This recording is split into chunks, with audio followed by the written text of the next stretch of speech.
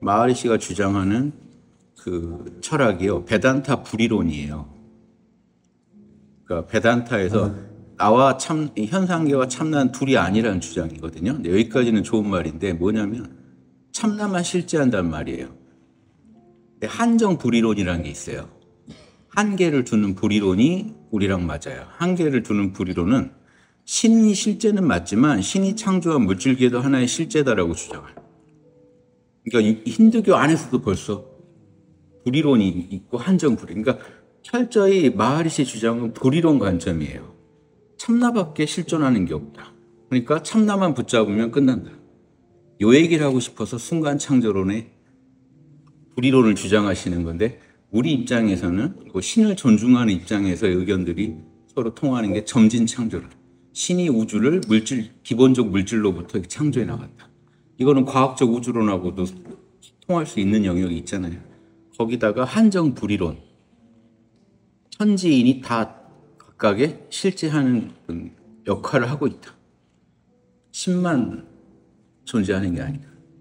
그렇죠? 형, 형이상 형이하가 한 세트고 음양이 같이 굴러간다. 우주를 굴린다. 정신계와 물질계는 함께 간다. 형이상과 형이하도 함께 간다. 이런 게 한정 불이론이에요. 힌두교식으로 말하 저는 그 입장인 거죠. 하지만 마하리시가 뭔 말을 하는지는 안다. 최상승선 입장에서는 그렇게 말할 수 우리는 오히려 그게 특수한 입장인 거지. 보편적 입장은 이렇게 봐야 된다는 거죠. 그러니까 너무 그 유심의 그 철학에서 나오는 얘기들을 너무 일반적으로 적용하시려다 보니까 문제가 생기신 거죠. 그러니까 그 그런 입장에서 예전에 무슨 기적 수업이니 뭐니 하는 입장들이 보면 사라진다 이런 식으로 깨어 있으면 우주가 사라진다 이런 주장을 하는 거예요. 참나로만 있으면 우주가 사라지니까. 그렇죠. 그런 분들은 완전 소승 철학이죠. 우주를 부정해요. 우주의 실제, 실제성마저. 그럼 너무 멀리 가요. 그러니까 처음에 서양에서 이런 유심론을 주장한 양반이 버클리라는 철학자예요. 근데 이분은 버클리가 주교인가? 이분은 기독교 분이에요. 그래서 이분한테 누가 이분이 주장이 그거였어요. 우주는 알아차릴 때 존재한다. 그러면 우리가 알아차리지 않을 때는 어떻게 존재하는 거냐? 신이 알아차리고 계시다 그래서 이미 서양에서 예전에 나온 얘기. 그게 나중에 칸트를 통해서 더 정밀한 학문화돼서 등장한 거죠. 애초에 처음에 주장은 그렇게 서양에서도 그런 주장이 나왔어. 지각하는 것만 존재한다. 근데 너무 한쪽으로 빠지시면 안 돼요. 내 입장에서는 그런데 우주는 우주대로 실, 실제한다. 이게 한정 불이론입니다. 내 참나도 참나의 작용으로 바라보는 것도 중요하지만 참나의 창조물 또한 실제한다. 어떤 이데아의 질서를 가지고 존재한다. 이렇게 봐주는 거랑 이데아를 부정하고 덤비니까 아까 그 얘기 연장선에서요. 초기 불교랑 부파 불교가 뭐가 문제냐면요. 부처님 가시고 나서 부파 불교가 됐을 때 거기도 이데아론 같은 게 등장해요. 근데 문제는 그 사람들이 법이라고 부르는 게 일종의 이데아거든요. 만법의 근원이 법은 이데아이면서 보편법칙이니까. 그런데 이분들이 주장하는 게 뭐냐면요. 불교는 꼭 이런 식으로 주장해요. 색 수 상행식을 다 찢어요. 색이라는 이데아가 있는 거예요. 물질의 이데아, 수, 느낌의 이데아, 상, 생각의 이데아, 행, 의지의 이데아, 식, 의식의 이데아. 우주에는 이, 이런 구성 요소로 인해서 존재한다. 그래서 뭘 주장하는지 아세요? 그러니까 여기에는 집도 없고 나라는 것도 없지 않냐. 사물의 최소 구성 요소만을 이데아로 인정한다고 불교가. 그러니까 이 양반들의 문제는 뭐냐면 집이라든가 수레라든 것의 자동차라든가 이데아를 부정한다고요. 그럼 어떻게 되겠어요? 그러니까 없는 거예요. 그래서 그 사람들 비유가 다 그런 식인 거예요. 요 컵도 쪼개봐라. 다 쪼개지지 않냐? 컵은 없는 거다. 근데 분명히 만들면 컵이 있는데. 뭐가 이상하지 않으세요? 이 컵은 공한 겁니다. 왜? 쪼개면 다 쪼개지니까. 최소 구성 요소로 쪼개면 다 쪼개지니까 지수화풍. 그럼 지수화풍의 이데아들은 있는 거예요. 근데 그게 합쳐서 만들어내는 것에 이데아는 없다는 거예요. 그것도 그럴싸한데 이렇게 치우치게 되니까 수레는 없다, 지분 없다 이런 주장이 되게 일방적인 주장이 되는 거예요. 그들의. 그럼 야 역시 없구나, 다 망상이었구나. 그게 이해가 될까요? 그럼 사람도 없는 거예요. 우연히 오온이 화합한 게 사람이 된 거지. 사람도 분해하면 섹스 상행식만 있는 거예요. 따라서 사람은 없다라는 주장인데 이게 그 본유정자로 가면은 과연 그럴까요? 없을까요? 왜냐하면 우주에 0과 1의 이데아가 있다면 0과 1로 만들어내는 무한한 조합의 이데아도 있는 거예요, 이미. 그러니까 인간이 아무리 먼지라를 해봤자 요 안에서 놀고 있는 거예요. 있는 이데아를 구현하고 있는 것 뿐이에요, 사실. 어떤 관점에서 보느냐 차이인데, 불교는 그런 거를 인정 안 하는 거죠. 그러니까 천지인, 유학자들한테 최고의 이데아는 천지인이에요. 하늘과 땅, 사람이 다 우주에 반드시 존재하게 돼 있거든.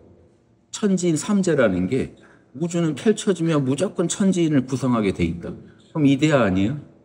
반드시 하늘을 만들고 땅을 만들고 생명체를 만들어라는 우주의 명령이 있다는 거죠. 근데 불교는 없다는 거죠. 지수화풍과 수상행식의 이데아만 있다는 거죠. 지들 간에 우연히 만난 게 사람이 됐다는 거죠. 그러니까 나라는 건 없다는 거예요. 나는 애초에 없는데 이것들끼리 우연히 만난 거를 나라고 부르는 망상이 시작됐다. 이 접근하고 되게 과학자적이지 않아요? 요즘? 과학자들은 지금 자아의식이 있느냐, 막 없느냐 토론하잖아요. 자아의식은 어떻게 생겼을까? 있긴 한 걸까? 과학자들의 입장이. 왜냐, 현상만 가지고 보니까 이해가 안 되는 거죠. 나라는 생각, 어떤 뭐 필요성에 의해서 생겼나 보다 정도 생각하는. 그러면 AI도 언젠가 자아의식이 생길 수도 있겠네? 이렇게 생각하는 거예요. 이걸 우습게 보니까. 현상만 가지고 보니까. 결국 지수화풍 모여서 사람이 나왔다면 지수화풍이 모여서 언젠가는 AI가 사람처럼 자의식이 생길 수도 있는 거 아니에요? 다 전기 신호일 뿐인데. 이럴 때 이데아론이 빛날 수. 이게 폭 플라톤의 이데아론이 아니에요. 사물의 근본 원리. 라는 게 있다면 근본 원리 차원에서 접근해 가다 보면 천지인이라는 근본 원리가 있다라고만 보신다고 해도 유학적 입장이죠, 저는. 플라톤도 이데아에 대해서 그렇게 정밀하게 알지 못했어요. 플라톤도 이데아는 자연물에만 있다고 봤던가? 인공물에는 없다고 봤어요. 그러니까 집에는 이데아가 없는 거죠. 보세요. 플라톤은 인공물의 이데아를 얘기 안 하니까 자연물에서 발견되는 성질에만 이데아를 부여한 게 불교랑 비슷하죠. 근데 동양의 다른 점 보세요. 주역이 이데아인데 주역에서 집도 나오고 뭐 다 나와요. 이게 다르죠. 동양은 영과 일의 조합으로 집이니 물건이니가 다 괴로 설명될 수 있다고 봤죠. 그럼 우주의 이데아가 어떻다고 본 거예요? 다 이데아에서 나온다고 본 거예요. 어떠세요? 다르죠? 형이상은 도고 형이 하는 그릇이다 해서 물건의 근원이 되는 도가 다 있다고 본 거예요. 그래서 그, 그 주역에 보면요. 뭐 신농 씨는 주역의 무슨 개를 보고 사람들한테 어떤 물건을 만들어줬고 막 이렇게 발명한 것들도 다 주역에다 갖다 대요. 근거를. 그런 논리가요. 이런 논리예요. 그 근본 원리가 있다. 거기서 끌어낸 거다. 농기구 하나도 다 괴로 설명할 수 있어. 훨씬 이데아론이 깊다고요, 동양. 서양은 이데아가 있다 정도 알아낸 거지. 그걸 가지고 막 어떻게 활용하지는 못해요. 근본 원리가 뭔한 거네요. 그렇죠. 개발. 아니 음과 양이 근본 원리잖아요. 그 음과 양으로 만들어지지 않은 게 어디 있어요? 그러니까 0과 1로. 운명의 팔기가 근본 원리다 이렇게 간단하게 쓰는. 그렇죠. 그럼 오행에서 금옥수화토도 만들어지고 오행에서 인의지신도 만들어지고 오행에서 흰오해락도 만들어지고 오행에서 추나추동도 만들어지고 어, 무궁한 거죠 원리가. 우주에는 근원적인 원리가 있다. 그런데 아까 칸트가 얘기한 것처럼 알긴 어렵다. 보편 법칙을 통해 짐작만 하는 거지. 있다고 가정해야만 말이 되는 거죠. 과학도 그런 식인 거예요. 뭔가 중력을 이- 뭐 중력이 있다. 중력을 매개하는 뭔가 있을 거다. 아직 발견도 안 됐어요. 중력 매개 물질이 발견이 안 됐어요. 그냥 중력자라고 가정하고 써요. 과학. 언젠가 발견이 될 거라고. 이런 식으로 과학도 결국 추정이죠. 있어야 한다. 이렇게 있을 것이다. 그것도 다 보편법칙 탐구에서 나오는 확신이 확신이겠죠. 과학 이런 이런 과학의 세계처럼 이 철학의 세계에서 나온 이 형이상학적 근본 원리나 보편법칙에 대한 입장들을 정리를 잘해서 이해하시는 게 좋고 형이상학 자체로 딱 보시려면 중용이 좋고요. 강의로는요, 저기 근본 원리 보편 법칙을 계속 노래한 거는 주역 강의예요. 개사전. DVD로 많이 파나 그거는. 그건 그거는 처음부터 끝까지 해서 근본 원리 보편 법칙 얘기밖에 없어요. 개사전 철학이 형이상학 그냥 노래한 거거든. 그 얘기할 때 막 제가 별 얘기 다 할 거예요. 이결 같은 거. 이결이 이데아론 아닌가요? 아무튼 이 두 가지 두 가지 관점을 잘 이해하시기 바랍니다. 근본 원리가 우주를 만들었다. 내 나를 통해서 소우주를 지금 매일매일 창조해가는 소우주와 대우주 이야기 두 개가 잘 조화를 이루어야 한다. 이런 관점에서 접근하시면 좋겠다. 대우주 이야기 그 근본 원리가 나 밖에서 사물을 만들어내는 게 대우주. 내 안에서 생각, 감정, 오감으로 또 우주를 펼치는 게 소우주. 대우주와 소우주의 조화죠. 소우주를 가지고 대우주 탐험하시는 거잖아요. 돌아다닐 때마다 계속 환경 바뀌어. 게임 하듯이 캐릭터를 데리고 막 돌아다니는 거죠, 여기저기. 가본 데만큼 보이죠. 실제로 그 사이버 게임 하면요. 전체 세상은 모르잖아요. 내가 돌아다녀 본 만큼만 알죠. 사이버 게임을 해도 그렇지 않나요? 발로 발품 파는 데까지만 알아요. 우리도 지금 돌아다녀 본 데만큼 아는 거. 하지만 사이버 세계에도 이미 프로그램 다 돼 있듯이 다 이 법이 있다고 보세요. 법으로. 법으로 존재한다. 그게 내가 거기 가면 현장에 가면 나한테 오감 정보로 들어온다. 내 우주에서는 그게 오감 정보로 꽃피고 산에 꽃은 이미 피어 있는데 내가 가야 내 우주에서 볼 때는 미발이다가 이발이 된다는 거지. 꽃이 그냥 안 핀 채로 있다는 게 아니에요. 다 폈는데 내 마음에서 피어난다. 내 마음에서 지금 못- 꽃을 못 피우고 있잖아요. 분명히 우주에 다 존재하는데 내 마음에서는 지금 꽃을 못 피우고 있는 거죠. 내가 파야 꽃이, 꽃이 피는 거죠. 내 우주에 드러나 현현한다는 거죠. 여기까지 이해되시죠? 그러니까 그냥 이것만 이것만 받아들이시죠. 이거 뇌과학적이랑 똑같은 거예요. 어차피 내 뇌에서 해석이 돼야 내 우주를 구성하니까. 객관 세계가 다 있고 없다는 게 아니고. 이래야지 유식학자들은요 객관 세계가 진짜 없다고 보는 거예요. 유식학은요 진짜 객관 세계가 없다고 봤기 때문에 그 꽃이 그 폈냐 안 폈냐 하면 이제 어려워지는 거지 이야기가. 그럼 어려워져요. 보세요. 객관적인 게 있다고 보면요. 제가 여기서 컵을 이렇게 옮겼어요. 그럼 제 우주에만 옮겨져야지 여러분 우주에도 옮겨지면 안 되죠, 사실. 유식학은 이것도 설명하는데 난해해요. 객관적인 걸 인정 안 하니까. 그렇죠? 제 의식에서 이걸 옮겼는데 왜 모든 의식에서 같이 옮겨지죠? 이걸 뭐라고 하냐면 증상연이라고 알 수 없는 인연의 힘으로 옮겨진다고 그래요. 그러니까 이렇게 어려워진다고요, 이야기가. 어려워진다는 거 아시면 돼요. 그냥 아니 내가 이걸 옮겼기 때문에 법으로 옮긴 거죠. 다른 인과를 지어서 이 법을 이리 옮겼으니까 다른 신호가 가는 거죠. 객관 세계를 인정 안 하고 얘기를 하려면 어려운 거죠.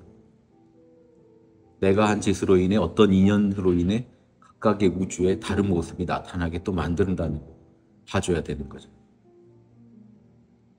한 모니터에서 일으킨 변화가 수많은 모니터의 변화를 어떻게 일으키지 이렇게 접근하는 것 자체가 이상한 발상 아니에요? 객관 세계를 부정하면서 얘기하다 보니까 어려워진 거죠. 그러지 마시고 있어요 다. 여기 원자 분자 다 있어요. 이미.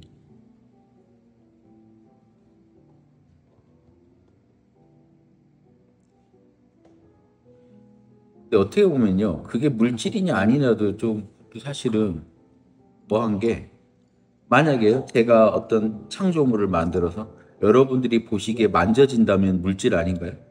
근데 제가 정신으로 만든 거예요. 염체로 만들었는데 다들 보이시고 그게 만져져요. 물질 아니에요? 그렇죠?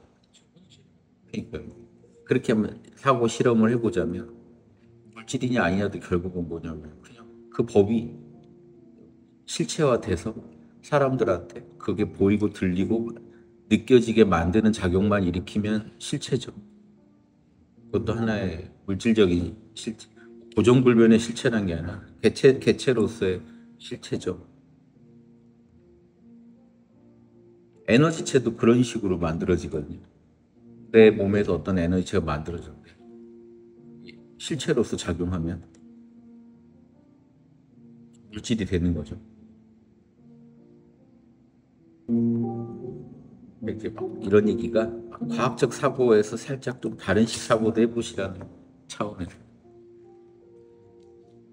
우주가 그렇게 창조하지 않았겠어요. 우주라는 참나 의식이 그래서 어떤 원자 분자를 만들고 별게 아니게 그렇게 의식에서 그런 현상을 일으켜서 모두가 보고 듣고 만질 수 있으면 창조가 일어난 거잖아요. 모든 의식에서 보고 듣고 할 수 있는 실체를 만들면 이런 식으로 우주가 창조됐겠죠. 그러니까 우리가 똑같은 걸 지금 경험하고 있겠죠. 이 힌두교를 힌두교는요 진짜 해탈하고 싶어서 그쪽 측면만 보고 얘기하는 게 많다는 걸 좀 아시죠? 좀 치우친 얘기가 있다. 그 관점에서 보면 이해는 된다. 다만 원만한 설명은 아니다. 그래서 유교가 불교를 반대했던 건요. 일체를 마음작용으로 보는 건 유학자들은 반대했었어요. 뭔 소리냐 이렇게 실체가 있네. 오히려 유학자들이 되게 과학자적으로 얘기한 거예요. 그 일체 입심조라는 건 내가 그, 내 관점에서 세상을 경험할 때만 그게 적용되는 그쵸. 거지 실제 존재하는 거를 일체 입심조라고 하진 않고 그것도 참나가 아니 그러니까 아까 얘기했잖아요. 신이 우주를 창조했다고 보시면 된다고요. 그게 일체유심제. 달라요 두 개가 창조하는 방식이. 그렇죠 다르죠.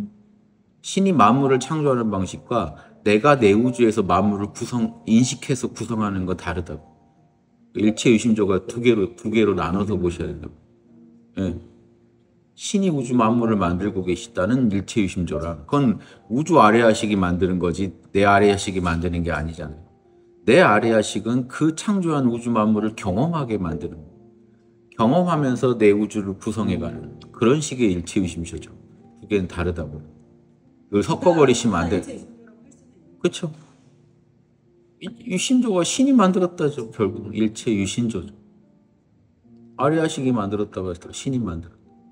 근데 아리아식설을 주장하는 분들은 내 의식 안에서의 변화를 얘기하지 아리아식이 나 바깥의 우주에서 뭘 만들고 하는 얘기를 안 하니까 애초에 들으실 때 잘 이해해서 활용하셔야죠. 그러면 내 수주에서는 일체 유심조 생각하면 되고 그 밖의 세계는 일체 그쵸. 유심조 그러니까 생각하면 되고 그렇죠. 기독교 기독교가 대우주를 창조하는 걸 설명하는 거고 일체 유신조. 유교는요 일체 유리조. 불교는요 유심조 할 때 심은 내 마음이란 말이에요. 그 불교의 관점은 철저히 내 마음에서 보는 관점이니까 양면을 다 봐주셔야 된다. 이쪽 면만 보면 안 된다. 유신조는 달라요. 대우주의 의식. 에고성을 지니지 않은 아래아식이 우주를 창조하는 이야기. 이쪽은 에고성을 지닌 아래아식이 우주를 인식하고 경험하는 이야기. 스토리가 다르죠. 어려운 얘기 오늘 했습니다. 눈빛들이 뭐. 우리가 공부하는 법공은 일체 유심조 안에서의 얘기인 거죠. 아니, 그러니까 그게 다르지는 않는데 일단은 내 우주부터 연구하시라는 거죠. 바깥 우주를 연구하지 말라는 건 아니죠. 내 우주부터 연구하셔서 확장해 가시라는 거죠. 다 안에 또 들어있죠. 들어는 있는데. 내 우주부터 연구를 해야지 밖에서부터 연구할 수는 없죠. 내 우주를 연구해서 밖으로 추리해 나가야지. 그래서 예전에 그런 말도 드렸을걸요. 법공을 법공을 탐구하신다고 해도 지금 법공 연구하시는 거는 인식 차원에서 법공이지. 그 그러니까 사물을 인식할 때 일체 의심조지 창조의 그 법공이 아니라고요. 에너지체 정도 만들고 막 해야 창조의 법공이지.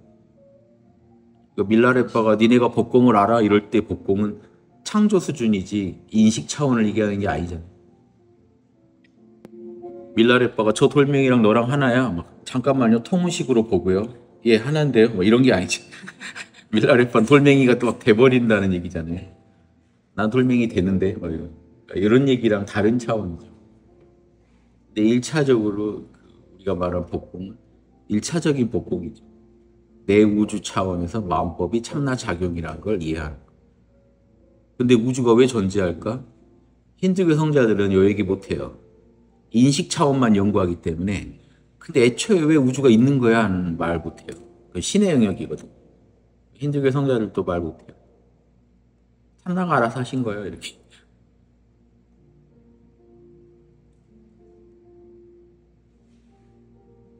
대우주 얘기는 모른다고요. 소우주만 작살내고 끝내자는 거예요. 어차- 소우주는 참나작용이다. 일체는 참나의 신비니까 참나만 참나만 파고 들어가서 참나 안에 딱 들어가서 다시는 안 나오자. 끝. 이게 그분들의 수행법이거든. 근데- 보살도나 유학이나 기독교나 다 대우주, 소우주와 대우주의 결국은 조화거든. 이 대우주에서 어떻게 내 세- 소우주에서 깨달은 진리를 가지고 대우주가 원래 둘이 알 테니까 대우주에서 펼칠 것인가.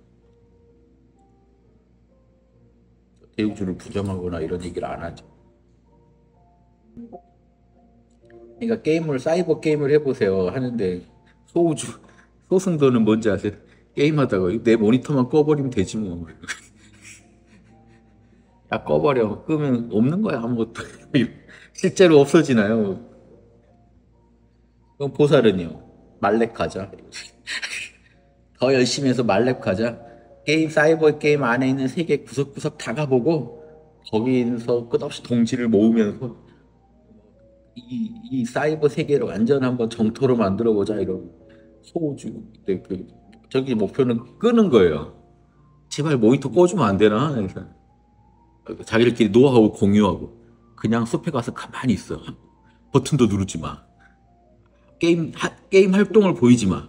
이렇게 되면 관리자가 아마 지워줄 거야. 뭐 이거 게임 안 하나 보다고 네, 계정 삭제해 주길 바라며 캐, 캐릭터의 소멸을 기다리며 앉아 있는 거잖아요. 누가 와서 도와달라면 못 도와줘요. 저 지금 움직이면 안 돼요. 10시, 뭐 10시간 안 움직이면 삭제된대요. 그래서 지금 뭐 9시간째 저 못 움직입니다. 뭐 이런 거. 그대로 있다가 게임에서 빠져나오고. 그러니까 내 우주만 사라지면 된다. 다 허상이야. 내 모니터에 나타난 게 전부고 요것만 없애면 끝나는 거야. 이런 식 논리가 이- 소승 논리라고요. 대우주와 벌써 소통이 안 되고 있죠.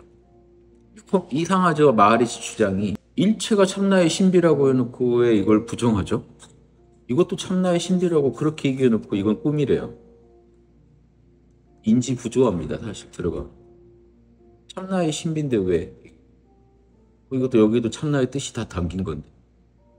참나가 여기다 물 떠먹어라 하고 이렇게 이게 이데아예요. 개로 개로하면 진개예요. 이 음, 음 뚫려 있다가 밑은 막혀 있어야 되잖아요. 진개예요. 진개의 이데아에서 나온 겁니다. 컵이. 진개 이데아를 쓰면 물건을 담을 수가 있어요. 진개가 또 나무다 보니까 나무로 만든 바구니가 또 진개 이데아에 더 부합하고요. 근데 항아리도 진개예요. 거는 이어져 있고 고는 찢어져 있죠. 괴가. 타너 스님이 이런 얘기 하셨어요. 그래서 이렇게 여자 마음은 어렵다. 여자 마음은 두 개다. 남자는 하나인데 단순하잖아요. 점이 두 개예요. 벌써 모순성의 극치 아닌가요? 모순적이잖아요. 모순적이면 되게 대처하기가 더 힘들죠. 모순성. 이거를 괴를 가지고도 설명합니다. 이게 이데아다. 이데아가 이런 거라고요. 나를 그렇게 내모는 힘. 내 마음이 그렇게 작동하도록 내모는 힘. 사물이 그렇게 작동하도록 내모는 힘. 그러니까 똑같아요, 이데아. 그러니까 시공 없는 세계의 이야기고. 그러니까 시공 없는, 보세요. 시공이 없고 이원성이 없는 세계라면요. 모든 이데아가 둘일 수가 없잖아요. 그래서 6.25에서 이데아가 하나라고. 사물이건 물리건 물리건 인간의 성리건 본성의 원리건 사물 안에 있는 원리건 하나라고 보는 거예요. 더 들어가면 인간 안에 있는 원리는 성이라 그래요. 본성. 마음이 있는 것들은요 성이라 그래요. 마음 안에서 작동하는 이데아는 성이라고 하고요. 마음 없는 사물에서 작동하면 원리라 그래요. 리. 성리학은요 본성이 원리랑 똑같다는 학문이에요. 인간 소우주에 있는 본성이나 대우주로 구현되고 있는 원리나 하나다라는 입장이에요. 원리는 하나다. 그 원리가 뭔데요? 음양오행. 성리학 너무 쉽지 않아요? 이것만 간명하게 세계에 알려도요. 우리 500년간 성리하다가 망했잖아요. 성리학 하다가 흥할 수 있어야죠. 앞으로 성리학만 골자를 잘 알고 쓰시면요. 전 세계인한테 이 메시지가 지금 나가야 됩니다. 이건 서양 철학에서도 정확히 말 못했던 거예요. 다- 단정을 이렇게 이거다 하고 단언을 못 해줘요. 그러니까 불교도 일체 유심조다고만 하지 마음에 그럼 어떤 원리가 있어서 이게 나온 거예요? 요 얘기를 안 해요. 못 해줘요. 서양 철학도 이데아가 있다고 자꾸 얘기하지. 그럼 이데아가 어떻게 생겼냐고. 동양처럼 음양오행 이렇게 딱 말 못 해줘. 신기하죠. 이 동양의 문명이 신기한 거예요. 자부심 가지서. 엄청 고차원 문명입니다. 음양 오행 이론이. 이걸 못 써먹고 있는 거죠. 중국도 못 써먹고 다 못 써먹고. 우리가 치고 나가야 된다니까요. 음양 오행이라는 게 진짜 무서운 거예요. 우주의 이데아를 이렇게 간명하게 설명한 데가 없다니까요. 전 세계적으로. 서양 신비학이 그래도 하는 게 지수화풍 사상이에요. 지수화풍의 이데아로 다 설명하고 근데 음양오행이 훨씬 정밀하죠. 고- 지수화풍도 음양오행 안에 들어오니까. 티벳 밀교가 그나마 오행으로 우주 만물을 막 설명하는데 오행 설명들이 엉망이에요. 경전마다 다르고 오방 부처가 막 바뀌고요. 색깔도 막 붙이고 하는 게 논리가 치밀하지 못해요. 듣고 하나도 설득이 안 돼요. 신앙의 대상이지. 그 오방불이 딱딱딱 괴에 맞게 원리에 맞게 설명되면 아주 아름다울 텐데. 제가 티벳 밀교에서 막그 무슨 그 뭐죠 대원경기 성소작지 막 설명하는 거안 따르고 제 식으로 괴랑 오행에 맞춰서 저는 다 제 식으로 따로 설명드리는 거예요. 다 하나로 깨지게 주역만 알면 팔정도니 뭐니 다 깨지게 인간의 네 가지 의식이라든가 다 괴로 풀어놓는 게요 맞추라 맞추려고 하는. 안 그러면 이데아랑 안 맞으니까 그냥 창작이 돼요. 티벳 밀교는 되게 창작 창작물들이 많아요. 그걸로 설명하니까 납득도 잘 안 되고 저도 납득이 안 되는데 저도 강의 안 하게 되죠. 그게 원리만 맞았으면 제가 막 환희에 차서 설명했겠죠. 티벳 밀교 이야기를. 거기도 계속 오행으로 만다라 만들고 해가지고 끝없이 오행 원리를 쓰거든요. 안타깝죠. 안 맞아요. 뭐 하나도 납득될 설명이 없어요. 오늘은 이데아 특집이네요. 어떠세요? 이결 않으세요? 원리의 노래. 조선선비는 일체 유리조입니다. 원리가 태극인 거예요. 태극이 시- 신이고요. 그게 신이고 그게 의식의 극치고요. 유교 선비들은 이걸 다 알아요. 마음이 태극이라는 게 송나라 때부터 주장이거든요. 심이 태극. 우리 마음이자 신이에요. 태극. 그게 네모라요. 우리를. 음양 오행으로 네모라요. 우주 만물. 그래서 우주에 계속 낮과 밤이 펼쳐지고 추나추동이 펼쳐지고 옛날 어른들은 당연히 그렇게 생각했다니요. 그러니까 이데아죠. 이거 보편 법칙이잖아요. 아침 저녁 아침 저녁 사이클. 추나 추동 추나 추동 사이클. 그러니까 이대야 하면 무조건 추나 추동이죠. 그게 근본 원리라고까지. 과학자들은 그걸 그냥 어떤 보편 법칙 차원에 설명하겠지만 철학자들은 거기서 이데아를 본 거예요. 우주 원리가 천지인을 반드시 구성 요소로 만들어내고 추나 추동으로 굴리는구나. 그래서 천에서는 추나 추동이 오행이고 땅에서는 금목수와 토가 오행이고 사람에서는 이니에지와 희노애락이 오행이구나. 사람은 기본값이 두 개구나. 요게 그냥 나온 거예요, 이데아가. 어때요? 지금 여기서 벗어난 게 없어요. 이 시공을 초월한 차원의 이 내모는 힘이니까 우리 의식 안에서 발견된 거를 자연물에까지 적용해 본 거예요. 칸트는 자연물에 적용 안 된다고 그랬는데 우리는 한 거예요, 그냥. 칸트는 사물의 그 이데아는 우리는 상정만 하지 알 수는 없다 막 이랬는데 우리는 사물의 이데아도 알아요. 음영오행. 그럼 어떻게 아냐? 그럼 우리 이렇게 죽이, 우- 우기면 돼요. 나도 사물이다. 나도 내가 볼 땐 나지만 우주에서 볼 때는 네가 볼 땐 나 사물 아니냐? 이거지. 그렇지 않나요? 이렇게 치고 나가요. 어때요? 그럼 모든 철학자들 씹어먹을 수 있어. 그래서 이런 내용이 중형책 보세요. 제. 제 중형을 쭉 따라가시다 보면 형이상학 체계가 쭉 서실 거예요. 음양오행이 근본 올리고 그걸 굴리는 게 신이고 신을 통해서 만물로 표현된다 이런 내용들이요. 근데 오늘 되게 중요한 거 다뤘어요. 내우주 관점과 대우주 관점을 항상 서양 철학에 요거 얘기만 할게요. 서양 철학에 양대 축이 있어요. 이게 딱 그 용어로 있어요. 있는 그대로 우리에게. 이게 서양 철학자들의 모토입니다. 있는 그대로 우리에게. 있는 그대로는 존재론이고요. 우리에게는 인식론이에요. 그러니까 대우주가 어떻게 존재하느냐? 있는 그대로. 이게 지금 우리가 한 얘기예요. 대우주의 존재 방식. 그다음에 우리에게 우리에게 그게 어떻게 펼쳐지느냐?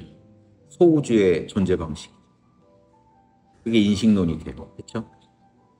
인식론이자 존재론이에요. 내 우주는 그런 식으로 존재한다. 내 우주에서 사물이 그렇게 존재한다. 인식을 통해서 구성된다. 근데 있는 그대로와 우리에게